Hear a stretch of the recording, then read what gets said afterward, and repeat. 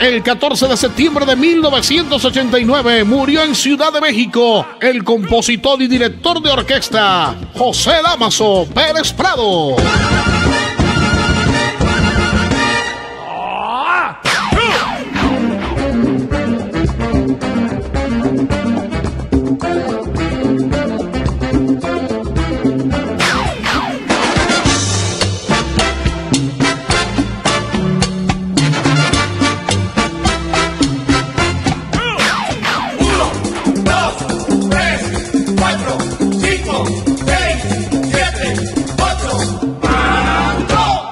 Muchos le atribuyen la creación del mambo, sin embargo, fue su máximo exponente a nivel internacional, Pérez Prado. ¿Qué le pasa a Lupita?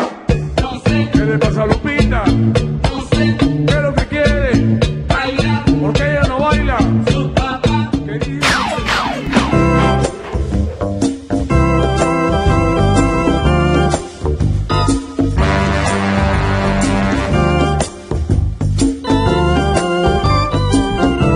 Con este sabor, con esta alegría y este ritmo del mambo, recordamos al gran Pérez Prado, hoy en el día de su fallecimiento.